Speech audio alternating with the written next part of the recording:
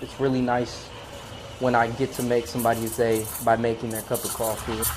All right, so here's the Americano for you. Hello, I'm Diego Rojas. Uh, I'm the owner of Joe's Coffee Stop. Hey. How you doing today? Pretty good, man. I read about you guys. Oh yeah? Are you the guy? Yes, I'm the guy. Are you like, are you like 21 yet or 19? no, I'm still 19. Yeah. It's not every day that people give opportunities to people my age.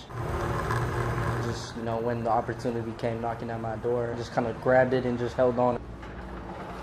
Hello, what can I get started for you? Get a medium oat milk latte. Medium oat milk latte. It's funny, I'm not really a coffee drinker myself, but I fell in love with the community behind coffee. you guys. Definitely, it's definitely all about the bond. That's kind of how coffee slowly got into my blood. This guy, you know, he was having a rough morning. I decided to, you know, hook him up with the free coffee. He ended up coming back, and, and you know what? That really made my day, and you know, I appreciate it.